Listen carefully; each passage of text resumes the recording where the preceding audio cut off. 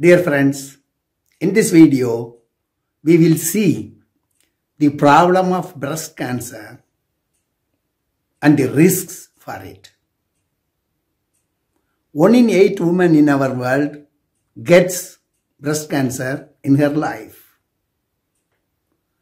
So it is important to know about the factors that can affect the, uh, the woman could prevent these and lead a healthy life with the right foods, then the chances of getting is less. Even if she gets it, it should be found out earlier so that the treatment is possible and the cancer is not spreading all over the body. So here we see the different risks so that every woman can see that in her life what are the things she has to be careful. The risks that include as first being a woman. That's the first risk. Then comes the age of the woman. Ethnicity, race plays also a role. Overweight, obesity are also race. Then coming to the other points, it is very important to know that when is the first period started? If it is, if it starts before 12 years old, the problem of getting the breast cancer is there. And second, second important factor is the period, first period of the year and the first pregnancy. If the time interval between these two are very long, then also the chances are there to get the breast cancer. Breastfeeding prevents breast cancer. But the thing is, the mother has to breastfeed her child for more than one year.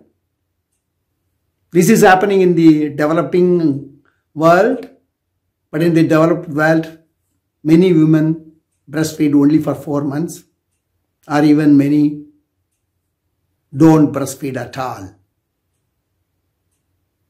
Then comes the age of menopause.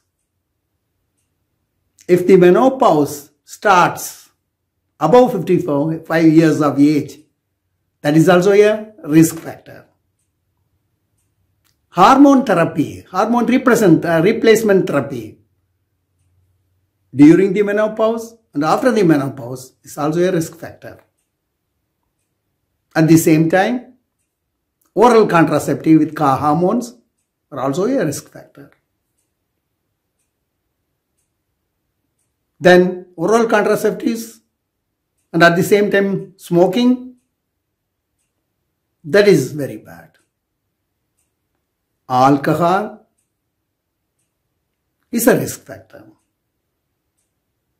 It's not only smoking, the passive smoking is worse than normal smoking.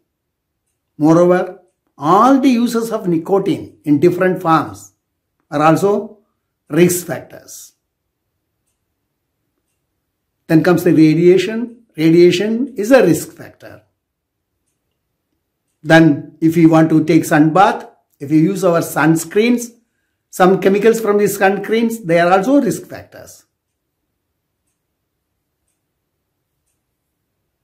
Yeah, then all the chemicals that are used they are risk factors. Chemicals you can say from our processed food, our artificial foods. You must know that more than 5000 chemicals are used in our food industry. Then most of them are not good for our health. They are risk, they are risk factors. And the pesticides and other agricultural chemicals used in the agriculture as well as in the livestock, they are also dangerous. Then the medicines used for the animals, where we get our meat or milk or whatever it may be, antibiotics and other medicines they are giving. That's also a risk factor. Apart from that, we must know that there are many other factors also which give us the problem that is mainly hereditary. That means the problems of the genes, that is the so-called epigenetics, according to the studies of the epigenetics, the risk may be 10 to 15% more because of the genes. Or if very close relatives, if they have had breast cancer, then the risk is also there.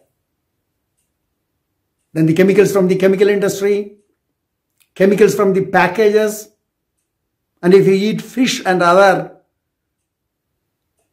fishes or other things from the sea, they have, they have not only many chemicals, including these PCBs, but also they have got mercury and other poisonous metals. So if you consider all these things, it seems that the risks are everywhere. That's correct. But at the same time, we can avoid most of this by eating fresh vegetables, fresh fruits. That will be very helpful. Maintain one's weight. That's very important. At the same time, for that, go to the gym or do the physical exercises regularly. That helps you also a lot. Apart from that, it is better to go every year to the mammography. It's a method where with the help of the x-ray, the breast cancer could be diagnosed. Here only one small problem is the women who have got dense breasts, it's very difficult to find out even with the mammography. But the daily, the important is to find out these problems, you can use daily. It's very simple method. At both the side of the breast, you can use, use your fingers, press the breast to see that whether you can see any lumps or any other thickness. For that, you can keep one hand behind your neck so that the breasts were driven out of the, each other. And then with the fingers of the other hand, then you can press the breast between your bra line and the collarbone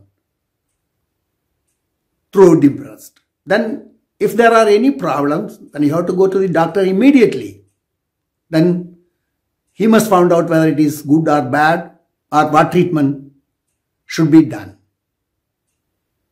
Normally, if there is no problem for the breast, the skin must be very clean and smooth.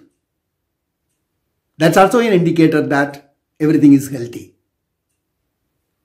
So with all the problems that could come, we can minimize the problems. That means the women, they can minimize the problems. So that in that context, avoid also excess fats. For, for example, saturated fats, that also you can minimize. Everything normal, everything healthy, everything in a very active way, then it is the nice thing to reduce the risks. Then the life without breast cancer is really a very good one. So everybody must do that. That is very, very important. Thank you.